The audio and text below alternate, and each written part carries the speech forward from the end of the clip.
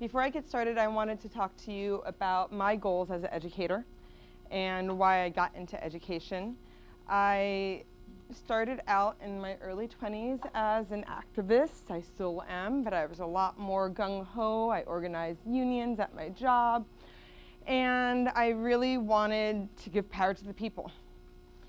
And I ended up majoring in community development at Portland State University, and I focus on economic, economic and housing policy, and that's where I got my undergraduate. And going through that process of learning how to develop communities, I started realizing how important education and literacy was because we gain a lot of our knowledge through what we read and hear from others. And if you can't read or really understand what others are saying, we can't necessarily progress or have our needs met. Oh no. Hold on one second. So, um, oh, I'm glad that this is up here because that's my second slide. so I, I, think about um, how I wanted to get into education because I wanted to work on those literacy skills that you need in order to access information. And then, of course, why are we giving these literacy skills to kids? Because I want them to change or create or develop a new value system. So they can value the community that they're in and value themselves and what they have to offer the community as well and have a place and a part in it. So I got this quote from Gandhi, and I love this quote. I, I, I read it often because I think about why I got into community development and why I got into education because I wanted to work on those values and this is the step-by-step -step process in order to create values. We have to have positive thoughts because our thoughts will eventually lead to words. And we need to know those words to communicate. A lot of times you have arguments because you don't have the words to express how you feel. Um, and those words become your behavior your behaviors become your habits. Your habits eventually become your values. And as a teacher,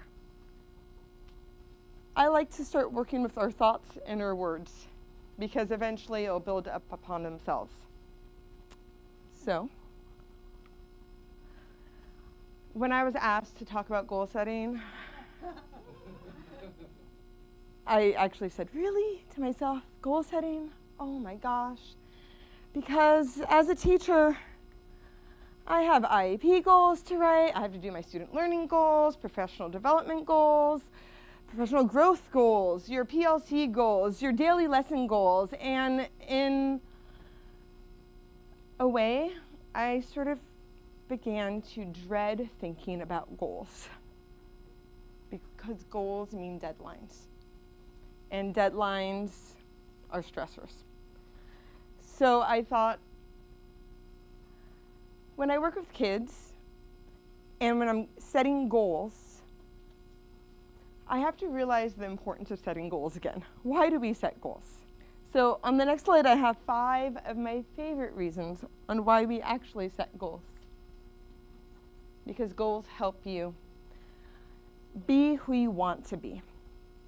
Because goals give your life purpose because goals boost your confidence, goals make you self reliant, and goals prove that you can make a difference. We need those reminders, especially when we have a lot of goal deadlines as teachers, why we actually set goals.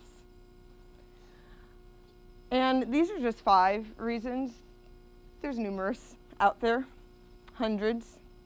I'm sure everyone here could think of a different reason on why we set goals.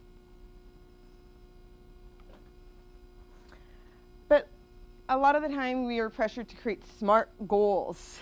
Smart goals. Specific, measurable, attainable. There should be a reason behind it, and it should be time-based.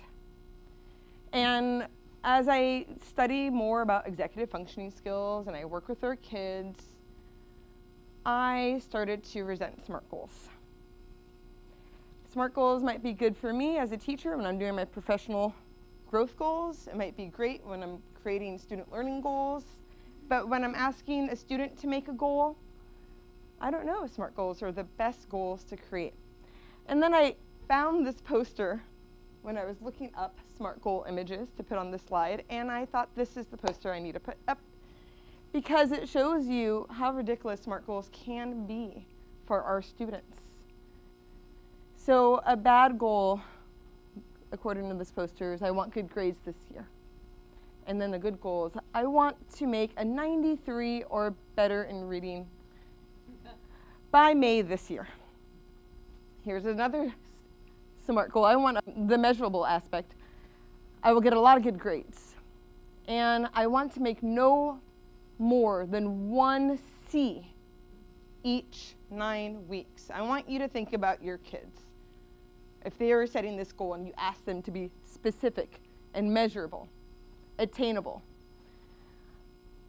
I want to make an A on seven out of the 10 tests I take. The reason? I want to improve my grades because reading is important in every subject and in the real world. I like the reason. Goals should always have a reason. And the last one, the time-based goal. Uh, the time-based aspect of the goal is I want to make a 93 or better in reading by May 30th this year. So why are goals smart goals? Not necessarily the best goals to set with students with learning disabilities, emotional disturbances. Um, the list goes on and on is because a lot of them lag those executive functioning skills to actually understand what attainable and time means. Because, yeah, I want to get all A's by the end of this year. Is it realistic? Is it reasonable? I know it's kind of sad, and I don't mean to depress, but I don't want to set my kids up for failure by creating goals that they're not going to reach because of their learning disabilities. I want to set goals that they can work on continually and make them lifelong goals. And another idea I thought of why these goals don't work is because often when you're sitting in a class, a student might not know where to start with their goals, and they copy from their classmates. And they might not realize that they're not personal goals. They're not taking ownership or accountability for these goals. And at times, they're creating really unrealistic goals for themselves. So I'm going to go into character traits and using character traits as your goal. And I'm glad that you guys had a chance to write the personality traits that you've written down. Because this summer I took a training with Gear Up because they're rolling out a new survey to the Roosevelt cluster, uh, middle school and above. And they're asking, as part of the survey, to quickly name 10 attributes about yourself as part of the survey. And as an adult, I struggled with that. I felt like I was lagging behind everybody else. I didn't know what to write.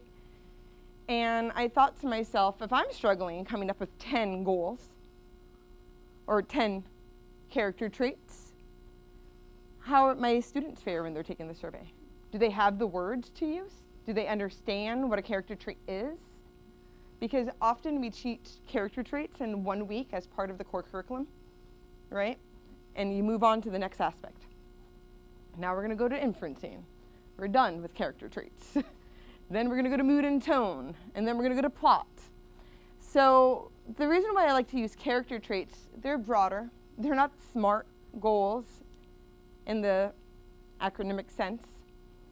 I think they're smarter goals because they're lifelong goals. They're goals that students can really see development and they could really work on and communicate, and you can embed in all aspects of the curriculum that you use, right? And I think about SMART goals, or I mean, character trait goals because they develop those pro-social values. And that's my goal as a teacher, is I want to create students who understand their values and their value set because I want to make it into their habits. And I want, to, I want them to take ownership of their lives and have better lives because they know the abilities and the traits they possess in a positive way. Um, why I like using character traits as goal setting at this point, and you can see my wall of courage, courageous being a character trait. um, is because it exposes them to the society, the positive society of values we have. What do we look for when we look for a community member, a neighbor, a friend, a partner, a brother, a sister, a mother, a father? It also gives us opportunity to think and discuss moral issues.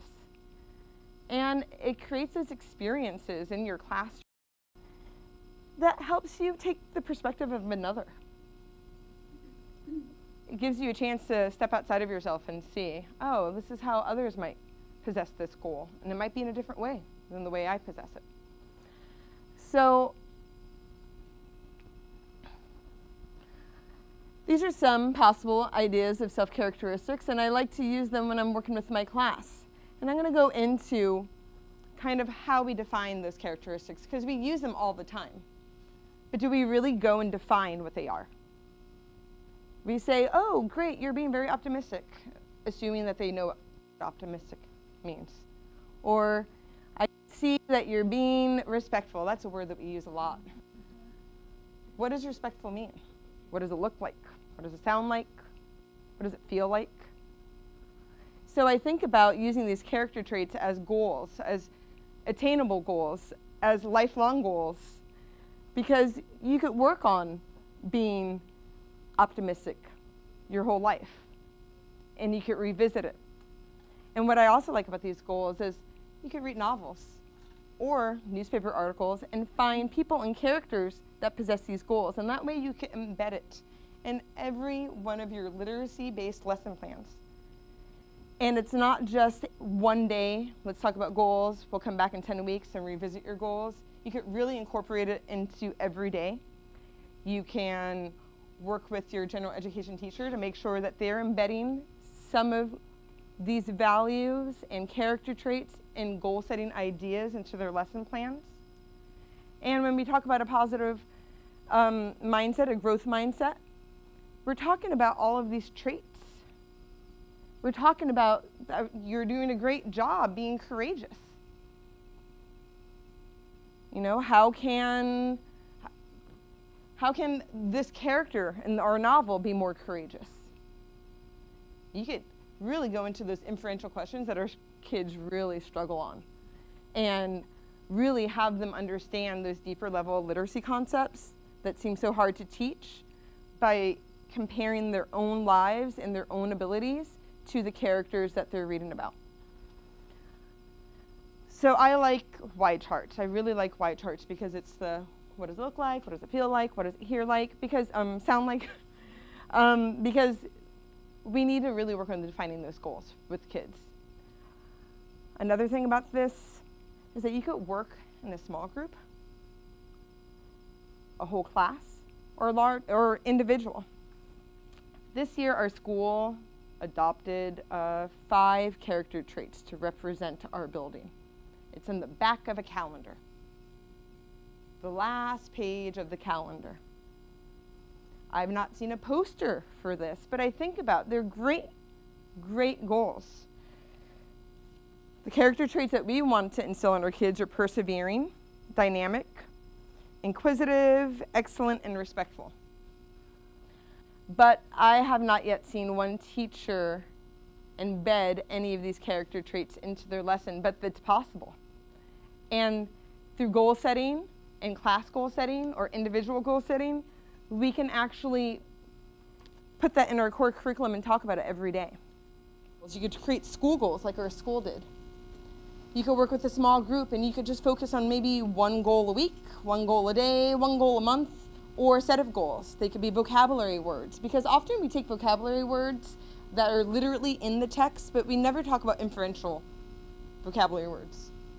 Like if there is a character who is courageous, why not learn how to spell it? Why not dissect that word? And why not find those qualities into the different people or the different situations that you find in the text?